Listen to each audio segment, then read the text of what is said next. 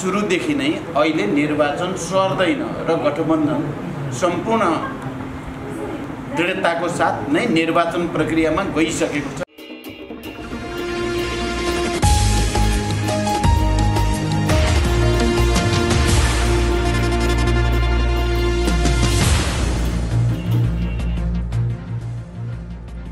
यो आयोजनाको लागि हाम्रो पार्टीका कमरेडहरू र पत्रकार साथीहरू अब अहिलेको मुख्य विषय भनेको त निर्वाचन नै हो। अब हामी स्थानीय हुँदै प्रदेश र सङ्घको निर्वाचनतिर जाँदैछौँ र यो नेपालको सङ्घीय लोकतान्त्रिक गणतन्त्रलाई संस्थागत गर्ने सुदृढ गर्ने र विकास र समृद्धिको नयाँ यात्राको तयारी गर्ने वर्षका रूपमा पनि यो वर्ष अगाडि आउँदैछ। अब तत्काल स्थानीय तहको निर्वाचन हुँदैछ। सबै राजनीतिक दलहरू यो स्थानीय तहको निर्वाचनमा होमि नै सकेका छन्। तपाईँहरूले देख्नुभएकै छ गठबन्धन पनि त्यो तयारीमा क्रमशः अगाडि बढिराखेकै छ र हिजोसम्म आइपुग्दा देशभरिका सबै छवटै महानगरपालिका र एघारवटै उपमहानगरपालिकामा गठबन्धनको बिचमा एउटा सहमति बनेको छ त्यो घोषणा भइ नै सकेको छ। र कतिपय मानिसहरूले सुरुमा यो निर्वाचनको बारेमा गठबन्धनमा कहीँ न कहीँ सार्ने छ कि भने जस्ता कन्फ्युजन पनि पार्न खोजिएको थियो। तपाईँहरूले पहिला पनि सुन्नुभएको छ मैले सुरुदेखि नै अहिले निर्वाचन सर्दैन र गठबन्धन सम्पूर्ण दृढताको साथ नै निर्वाचन प्रक्रियामा गइसकेको छ भनेको थिएँ। र अब त सायद केही कन्फ्युजन कसैलाई पनि छैन। वैशाख तिस गते स्थानीय तहको निर्वाचन हुन्छ। अब यो निर्वाचनलाई स्वच्छ निष्पक्ष र धाँधलीरहित बनाउने र व्यापक जनसहभागिता सुनिश्चित गर्ने र लोकतन्त्रको एउटा अभ्यासलाई नयाँ स्तरमा उठाउने आवश्यकता छ। मलाई खुसी छ कि सुदूरपश्चिममा अहिले हाम्रो पार्टीको पनि सङ्गठन सुदृढ र विस्तारको क्रम अगाडि राम्रैसँग बढेको छ।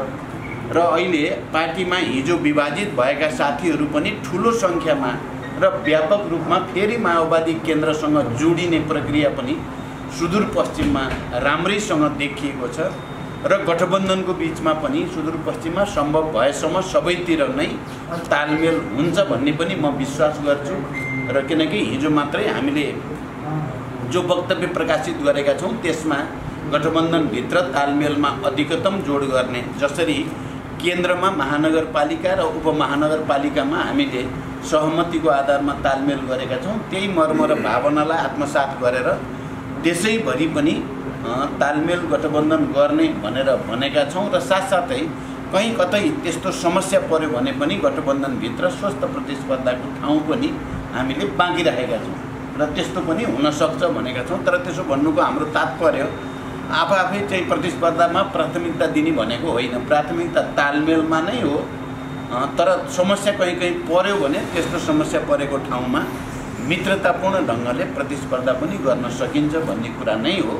त्यस कारण पत्रकार मित्रहरू अरू मैले अहिले लामो भन्नु छैन। अहिले हामी यो परिवर्तन जो संस्थागत भएको छ संविधान मार्फत जसरी नेपालको संविधान एउटा समावेशी संविधानको रूपमा इन्क्लुसिभ डेमोक्रेसीको एउटा प्रतीकको रूपमा स्थापित छ। र यो समानुपातिक प्रतिनिधित्व प्रणालीको पनि एउटा इक्जाम्पल दुनियाँको लागि बनेको छ। र यो संविधान धेरै ठुलो र लामो सङ्घर्षपछि व्यापक बलिदानपछि जनयुद्ध र जनआन्दोलनको संयोजनपछि बनेको संविधान हो। कारण यो संविधानको मर्म र भावनाको रक्षा गर्नु र यसलाई अझै जन आवश्यकता र राष्ट्रको आवश्यकता अनुसार यसलाई विकसित र परिमार्जित गर्दै लानुपर्ने आवश्यकता छ। तर गत केही समय हामीले के अनुभव गऱ्यौँ सिङ्गे राष्ट्रले के अनुभव गर्यो भने यो संविधानलाई कुनै न कुनै रूपले उल्ट्याउने र यो परिवर्तन जो जनताले यो देशका सबै उत्पीडित वर्ग जाति क्षेत्र समुदाय सबैले पहिचान र अधिकार प्राप्त गरेका छन् र सिंहदरबारको अधिकार हामीले गाउँघरमा भनेका छौँ र तिन तहको सरकारको हामीले अभ्यास गरेका छौँ। यो मार्फत विकास निर्माण र समृद्धिको नयाँ यात्रा सुरु गर्ने हामीले सपना देखेको त्यसलाई उल्ट्याउने षड्यन्त्र गत सालदेखि हामीले देखेका छौँ जसलाई हामीले प्रतिगमनका विरुद्ध सङ्घर्षको रूपमा अगाडि पनि बढायौँ। तपाईँहरूलाई थाहा छ यही धनगढीमा पनि हामी त्यति बेला एउटा विशाल सभा गरेर त्यहाँ अपिल पनि गरेका थियौँ र सुदूरपश्चिमबाट प्रतिगमनका विरुद्ध आन्दोलनमा व्यापक जनसहभागिता पनि भयो र राजनीतिक दलहरू पनि यो प्रतिगमन र प्रतिक्रान्तिको षड्यन्त्र रोक्नै पर्छ भन्ने कुरा हामीले गरेका थियौँ। आज यो निर्वाचनको मुखमा परिस्थिति के छ भने हिजो प्रतिगमनका विरुद्ध आन्दोलन गर्ने प्रतिक्रान्तिका विरुद्ध आन्दोलन गर्ने यो समावेशी समानुपातिक मान्यता उल्ट्याउन खोज्ने प्रवृत्तिका विरुद्ध आन्दोलन गर्ने शक्ति एकातिर गठबन्धन भएको छ र प्रतिगमनका पक्षधरहरू चाहे ती हिजोका राजा महाराजासँग सम्बन्धित शक्तिहरू हुन् या अरू कुनै दलाल शक्तिहरू तिनीहरू चाहिँ अर्कोतिर गठबन्धन बनाउने कहिले आठ दल कहिले नौ दल भन्ने गरिएको छ। यसरी दुईवटा गठबन्धन एउटा अग्रगमनका पक्षधर परिवर्तनका पक्षधर प्रगति र समृद्धिका पक्षधरको गठबन्धन अर्को चाहिँ यसलाई उल्ट्याउने कोसिस गर्नेहरूको पक्षधर। तिनीहरूको बिचमा एउटा बडो विचित्रको ध्रुवीकरण अहिले देशमा देखा परेको छ र हामीलाई विश्वास छ नेपाली जनता जसले लामो सङ्घर्ष र बलिदानपछि यो संविधान प्राप्त गरेको हो संविधान सभा मार्फत यो परिवर्तन प्राप्त गरेको हो यो परिवर्तनको रक्षाको निम्ति यो निर्वाचनलाई पनि एउटा आन्दोलन र अभियानकै रूपमा लिएर नेपाली जनताले यो गणतन्त्रलाई समावेशी लोकतन्त्रलाई अझ सुदृढ गर्ने र यो मार्फत जसरी स्थानीय तहसम्म सरकारको अनुभूति जनतालाई प्राप्त भएको त्यसलाई अझ सुदृढ गर्ने अझ व्यवस्थित गर्ने यो अवसर हो। यो अवसरलाई आम नेपाली जनताले राम्रो सदुपयोग गर्छन् भन्ने विश्वास म व्यक्त गर्न चाहन्छु।